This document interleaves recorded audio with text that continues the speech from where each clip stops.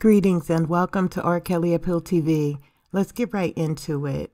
This segment is about the article that was written on April 14th, 2022 from the Chicago Tribune and WTTW Crime and Law. They put out an article stating that the judge denied R. Kelly request to delay sentencing in New York case.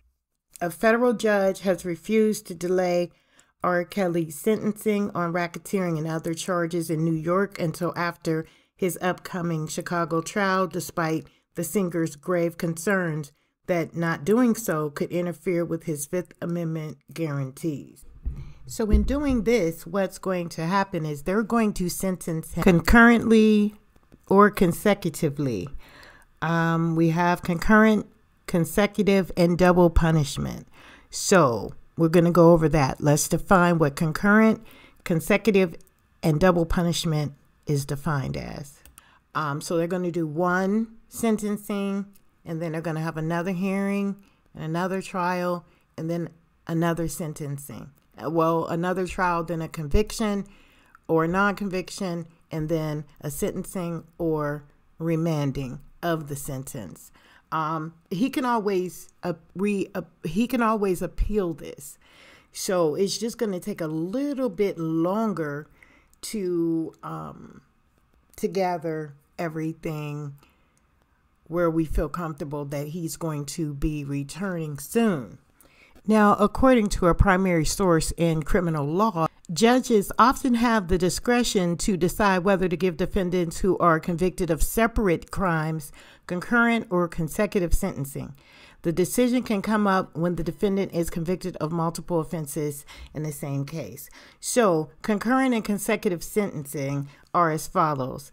If a defendant is convicted of a number of crimes that carry lengthy prison terms, the difference between consecutive and concurrent sentencing can be tremendous. Concurrent sentences is when sentences run concurrently. Defendants serve all the sentences at the same time. Or consecutive.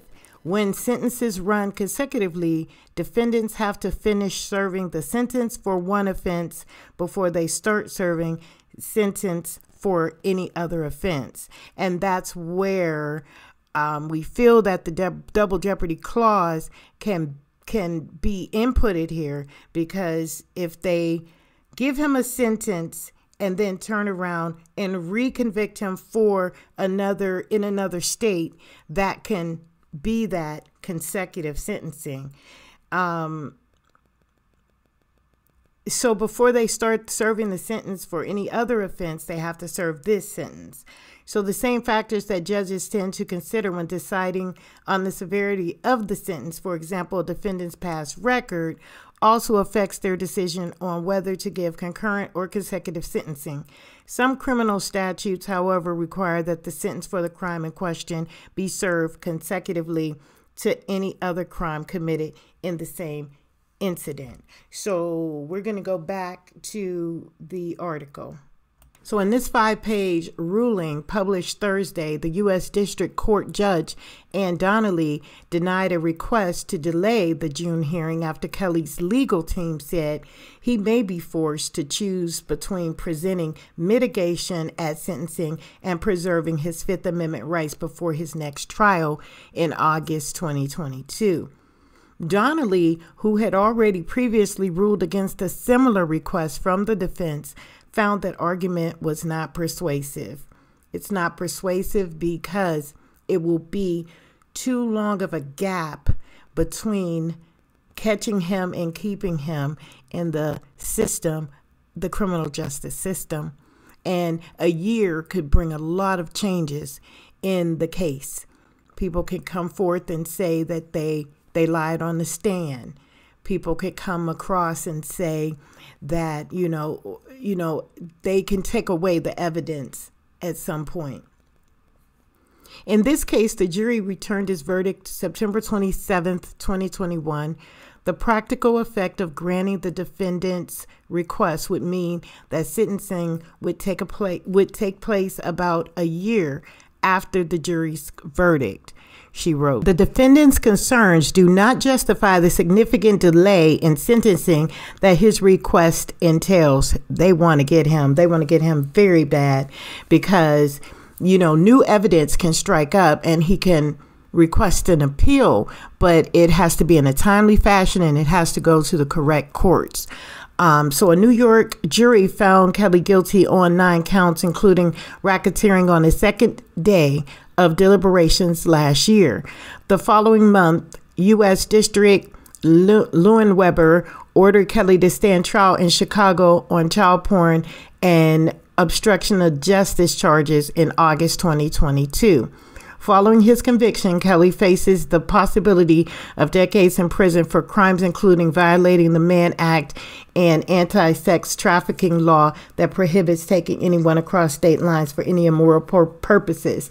So they want to really drive that home in our minds that, yeah, you know, he's going to be in prison for life. And we have to keep our beliefs stronger than what these words are saying here. But we're just re- revisiting this information, which has been already tainted in the minds of individuals.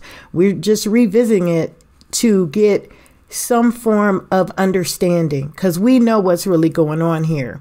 Now, federal prosecutors have opposed any delay in sentencing, arguing that Kelly is not being compelled, in quote, quote, compelled to say anything, end quote. Now, that is the response that attorney Jennifer Bonjean has stated that it has to be compelling um, and it has to be she had three statements that she said but compelling was one of the words so they're going to reuse her words to say that arguing that Kelly is not compelled to say anything at his sentencing. Instead, he is potentially choosing to do so. So he pled the fifth. Now he is going to speak. And um, they're saying that he's not compelled, he's not being forced to speak, he's choosing to do so on his own.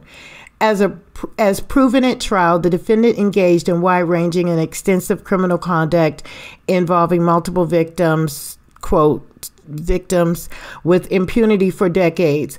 Prosecutors said earlier this month his victims have waited years to see the defendant held to account and sentenced for his crimes. Kelly, who was born Robert Sylvester Kelly, is also facing four separate indictments alleging sexual abuse in the state court in Chicago and a child prostitution charge in Minnesota.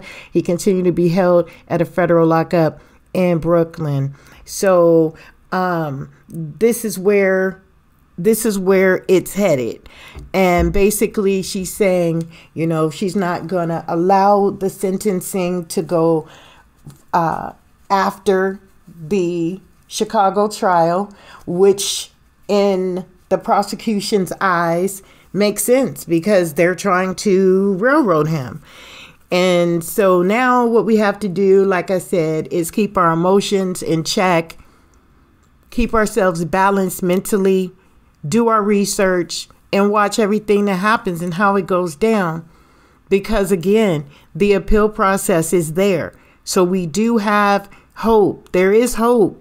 But we have to believe and know in the midst of all this craziness that all will turn out in the favor of Robert Sylvester Kelly because of what has been done to him.